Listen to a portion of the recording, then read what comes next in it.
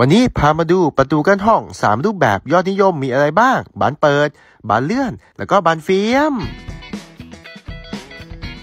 ซึ่งประตูชนิดแรกนี้เราเรียกมันว่าประตูบานเปิดหรือว่าบานสวิงก็ได้นะครับ ผมเชื่อว่าทุกบ้านจะต้องมีแบบนี้มันสามารถใช้กั้นห้องได้ทั้งภายนอกแล้วก็ภายใน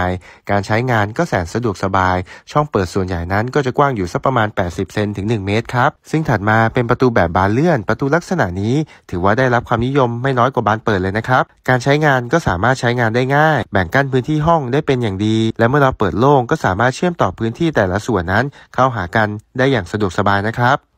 และประตูชนิดที่ 3 ที่สามารถใช้กั้นห้องได้นั่นก็คือประตูบานเฟียมครับ